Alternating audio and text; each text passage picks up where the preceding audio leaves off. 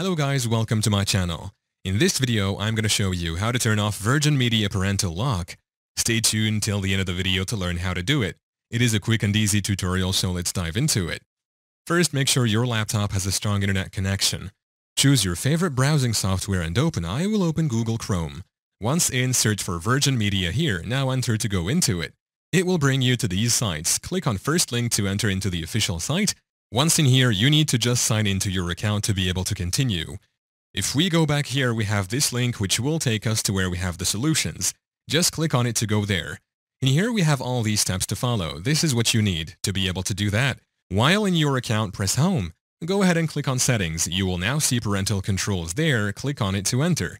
Please take note that you can make certain changes, but you can't turn it off completely because it's an Ofcom requirement for control before 9 p.m. Yeah, that's how to turn off Virgin Media Parental Lock.